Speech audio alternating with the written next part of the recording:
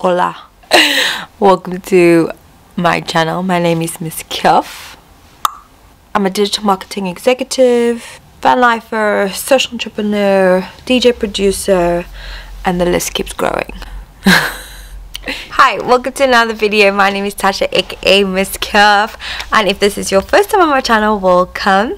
And if you're already subscribed. Welcome back. You may know that i have started to i'm living in my van full time and I just wanted to do this monthly video which is about how much did I spend living in my van and um, you know moving forward just to show you how much it is for living in a van how much does it cost.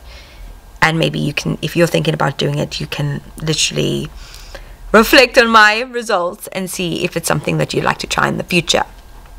Okay, so I want to talk about the the lifestyle. So each van lifer, before I get into the the the, the details now, now, some of you may already seen this content, and the figures are on my TikTok or my Instagram and you can follow those both down below but basically my lifestyle is a little bit different um, some van lifers I've seen before um, still have full-time jobs and like there's this one chick she's still a flight host um, and other people travel around the world be creative blah blah blah blah blah so my one is I basically am working part time as a digital marketing executive.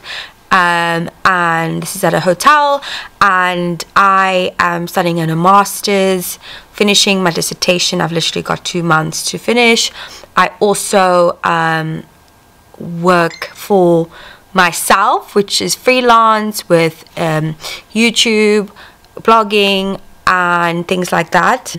But also I like I work twice a week in Cardiff or after work I go to the, the studio which is a startup a co-working space where I um, work a lot. In terms of expenses there's obviously I travel back and forth because I don't prefer to live in the city. I live in outside the city because that's just what I prefer at the moment and my van is still going under mechanics and I am basically based a lot in the city so therefore a lot of my expenses are now out and about. This is reflected more in July's but I just want to tell you um, just a little bit of a like bit of background as to what I'm doing so that you can know for this video next video and the video moving forward. I bought my van on the 17th of June and it it's a Vauxhall Vivaro. Um, so this is obviously only two weeks of June, so it doesn't reflect my full June, but it starts in June, so I have to give you June's details. And what I'll do is I'll calculate from the 17th of June to the 17th of July so that you can 16th of July so you can see a full month or the 17th of July a full month of what I've spent and then we'll do July as a month moving on moving on. Basically that's how the series is going to go. Okay? So I bought my van for 1400 okay? Then on diesel I've spent 34 pound 32 which is not too bad. I'm still using that petrol now and it's July. Uh, 38 pound 77 on food. I know for sure this is this is quite good for those two weeks. To forecast like the 30 pound for two weeks like 15 pound a week. But I've gone over because I don't have a fridge basically. Amazon Van Bolt. So the Van Bolt cost me 71 pound 84 um, Superdrug which is my self-care my face masks. I love to pamper myself. Is 3 pound 58 um, traveling to work is 35 pound and 10 pence driving license i had to renew my license cost me 14 pound and then the van insurance cost me 65 pound 45 so that's a total of 263 pound and six pence. Um, and i have including my van that's 1663 pounds and six pence.